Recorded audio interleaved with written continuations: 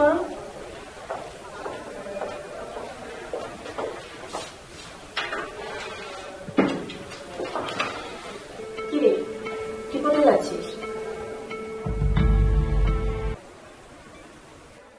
অফিসে যাচ্ছি বা। অফিসে যাচ্ছিস মানে? তুই না অফিস থেকে সাত দিনের জন্য ছুটি নিলি?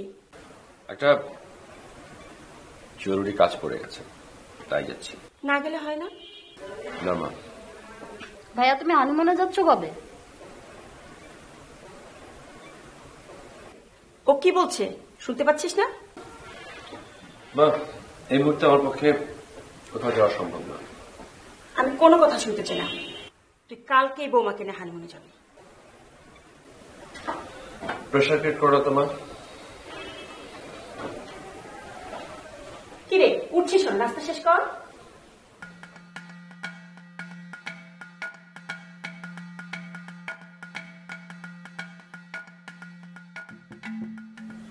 বৌমা তুমি কিছু মনে করো না। সুমি বিকেলে বৌমাকে নিয়ে একটু বেড়ে আসিস তো?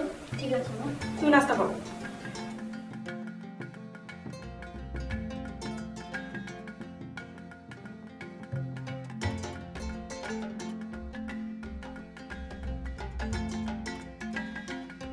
সালাম আলাইকুম স্যার। স্যার আপনি অফিসে? কেন? অফিসে আসা মানে নাকি? না স্যার গতকাল আপনার বিয়ে গেল আর আজ আপনি অফিসে? আপনার তো কিছুদিন ছুটিতে থাকার কথা ছিল স্যার। এত বেশি কথা বলছো কেন? পরশুদিন তোমাকে যে ফাইলটা দিয়েছিলাম ফাইলগুলো নিয়ে আমার রুমে আসো। না স্যার নতুন বিয়ে তো স্যার সেই জন্য বললাম। গতকাল আপনার বিয়ের খাবারটা অসাধারণ ছিল স্যার। মাঝখানে ভাবিকেও দেখে আসলাম। খুব সুন্দর স্যার। হানিমুনে কবে যাবেন স্যার? একটা থাপ্পড় দেবো। কাজ করো। না স্যার মানে কি আবার না স্যার?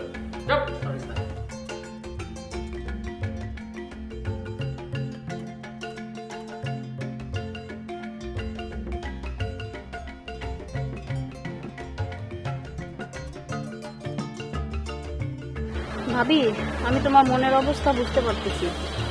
তুমি আসলে মানসিকভাবে ভালো নেই। না না আমি ঠিক আছে। তুমি যতই বলো তারপরেও আমি বুঝতে পারতেছি তোমার মনের অবস্থা ভালো না। ভাবি তোমাকে একটা সত্যি কথা বলি। ভাইয়া আসলে একটা মেয়েকে প্রচণ্ড ভালোবাসতো। কিন্তু হঠাৎ করে মেয়েটি অন্য ছেলেকে বিয়ে করে অস্ট্রেলিয়া চলে যায়। ভাইয়া এই জিনিসটা আসলে খুব সহজে মেনে নিতে পারতেছে না। এজন্য হয়তো বা তোমাকে মেনে নিতে কষ্ট হচ্ছে। তুমি টেনশন করো না, কিছুদিন পরেই ঠিক হয়ে দেখ- যাবে দেখবে, ইনশাআল্লাহ।